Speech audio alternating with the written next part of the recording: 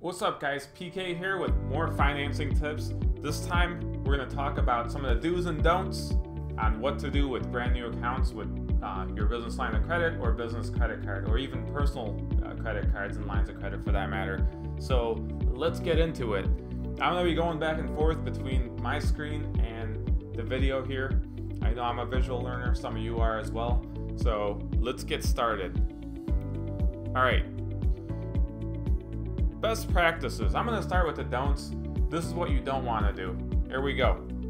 Number one, don't go over your credit limit.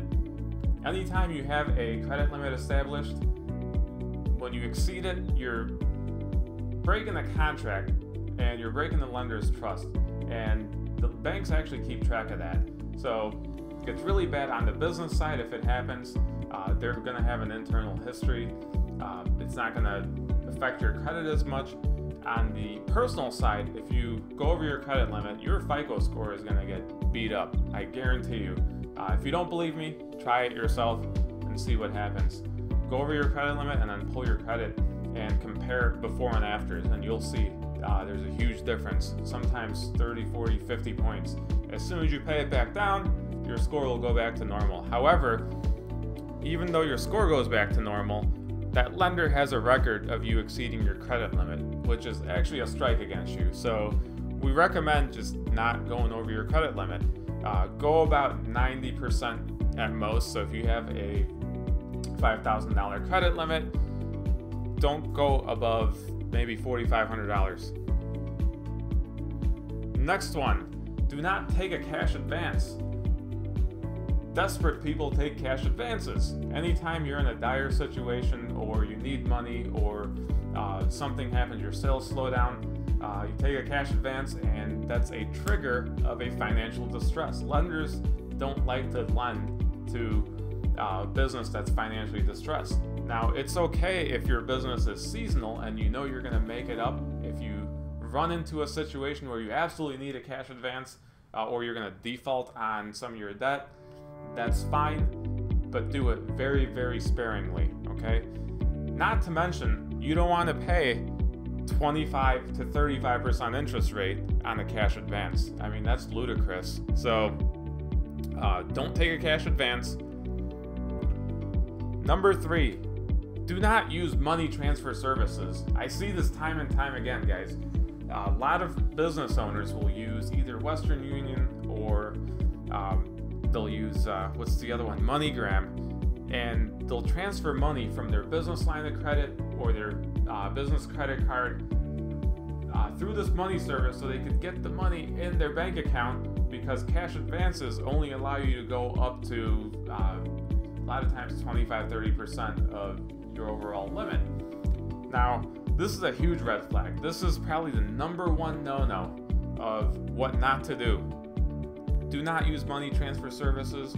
A lot of lenders will actually shut your account down if they find out that you're doing it. Obviously, they're going to find out because it's going to hit your uh, statement. And a lot of times, there's certain lenders out there that we know of. As soon as that transaction comes through, they'll freeze the, uh, they'll freeze that account and they will open up an investigation to make sure it wasn't a fraudulent transaction. So stay away from money transfer services. Number four, do not make high risk purchases. What are high risk purchases? Well, casinos, liquor stores, pawn shops, and adult entertainment.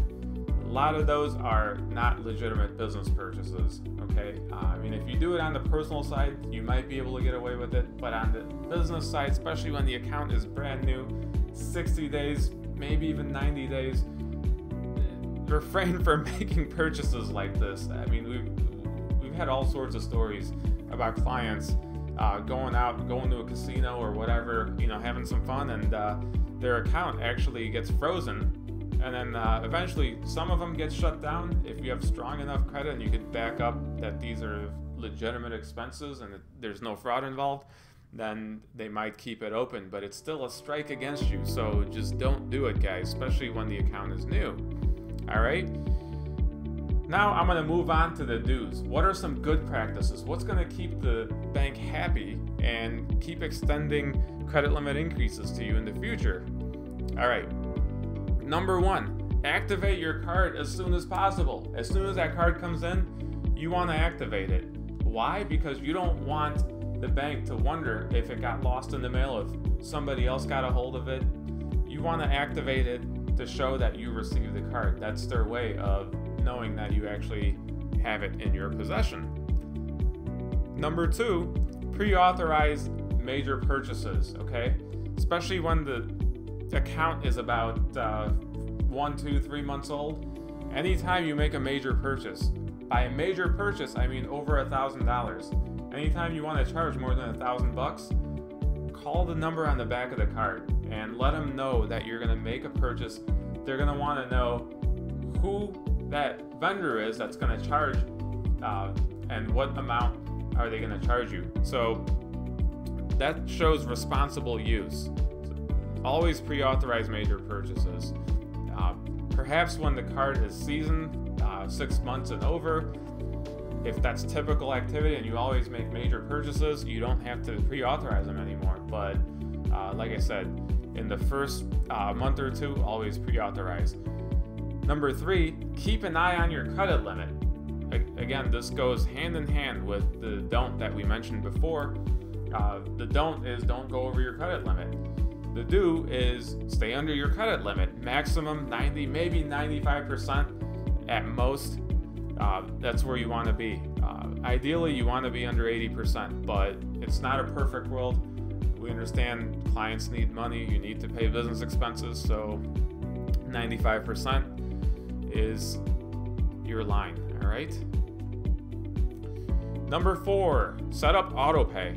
Uh, if you set up autopay, it'll ensure a few things. Number one, it's going to ensure that you never miss a payment. If you never miss a payment, then the lender is always going to be happy with you. Number two, it shows the lender that you are a responsible individual financially. So, you always want to set up autopay.